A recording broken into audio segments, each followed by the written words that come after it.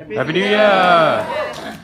When I think of New Year, I think of resolutions. And we already have gone through that topic a lot of times during our table topics. But I'm here to say it further. Um, one of the things, one of the common New Year's resolution, I went into the internet to research. And the first common New Year's resolution is exercise more. And then the second thing following is lose weight. Yes, Han would know that. He's in a huge diet and hats off to him. I could never do that. Anyway, so my topic today is resolution and I'm going to specifically talk about losing weight. And every year I'm going on and I'm saying, oh, I need to lose weight. And every year I fail to do so. And I'm like, okay, I do that every year. When did I really start? I started it about, I think about 10 years ago. And it just goes into my head. 10 years ago, I was like about 13. And since 13, I've been thinking about losing weight. And it's just a phenomenon, like how did it all start? But then I just go to my friends and they are also talking about losing weight. They'll also be like, oh, I'm so fat, I need to lose weight. You know, see the fat, see see It's just like the Mean Girls. If anyone has seen Mean Girls, it's exactly like that. It's just like, oh, I'm so fat here, I'm so fat here, everywhere. And I was like, okay, everyone is uh, everyone's talking about it. When did it actually start? And it was about 20 to 30 years ago in the 90s era when there were skinny models going in the runway. They were tall, they were skinny, skinny to the point that they look more anorexic. But that was the trend back then. And everyone was just like, whoa, that is beautiful.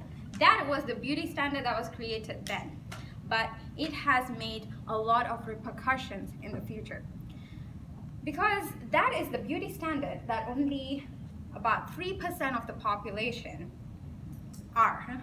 Not everyone can be tall and that much of skinny. I have seen models in runway. I was uh, blessed enough to actually see a fashion show and those models didn't have any shape. They didn't have any shape, they didn't have any features, and they were, they all seemed like they wanted a cupcake so bad. but then they were there, they were like, they were just, they, they all look very stern as well, so it's just like scary, but yeah.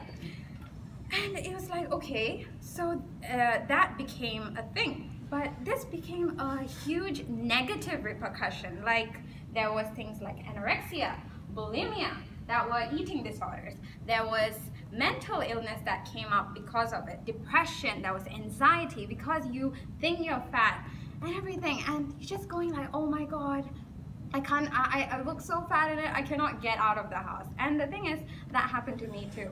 It's not just these people or whatever I see in the media, but it's also myself. Like I'm just going like, oh my God, I look so fat. I don't feel like getting out of the house.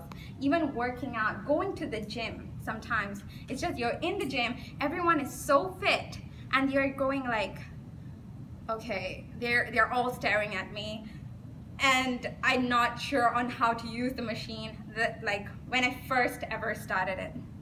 Now I'm a little bit more confident. I'm a little bit more like, I don't care. I'm just going there. I'm doing my thing. But then I realized this, this part of me, I didn't realize it when I first started off. I realized it when another girl, another friend of mine, I brought her to the gym for the very first time. And she felt that way.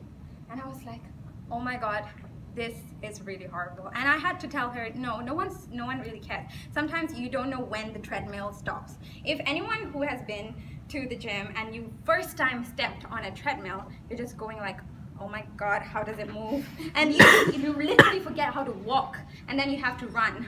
And then it makes some noises. And then when you stop it, you're like, oh shit. And then you, you don't know how to get out. And then so, sometimes you trip. And all these consciousness that comes together with it is just so sad. But then when I would say Western industry is making a little bit more effort on, on this uh, topic where they are they're doing more body inclusive fashion industry they are making it more plus size models they are doing all these uh, they're making it more effort for people because I see people who are a little bit in the bigger size but they are exercising they are also doing diets but they cannot lose weight because of their own body structure on how their body is built. It's not necessarily because that they are not do, putting an effort, it's just that they cannot. Their body type cannot. And that's what happened. And in Asia itself, it's a much bigger problem because we're still not body inclusive.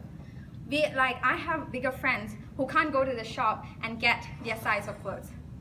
It is so sad. It is so bloody sad because some clothes that I can see, I can try wearing, my bigger friends can't get it because they don't have that sizes. And when I was in secondary school, can I borrow that piece of paper? Yes. So, so this is an A4 size paper. So there were certain fat scales. One of the fat scales that we had was this A4 size paper.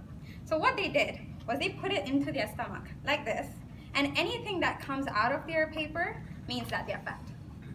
Absolutely ridiculous. Absolutely ridiculous. The other thing was that one girl in my class, I don't know she I don't know if she taught me as a project, but she just went like, Can you stretch your arms like this? And I was like, okay. And she just went like, if you have fats coming out of your arm, that means you're fat. I'm like, and then she showed herself and she was like, see, you know, I don't have it. What was the point of her saying that? I don't know. It's absolutely ridiculous. And what I'm trying to say out of all of this is that, you know, we, we shouldn't look at A4 size paper, we shouldn't look at our arms because we are all built differently.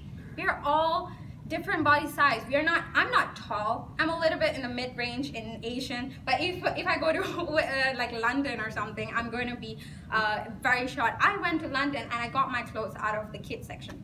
so it's different in every country. So what I'm trying to say is that this year, our resolution, we shouldn't have the top New Year's resolution by telegraph.co to be lose weight, exercise more. It should be more like be happy and be satisfied with what you are. And copyright to Ellen DeGeneres, we have to make it to be be happy and be kind to one another. Thank you, everyone.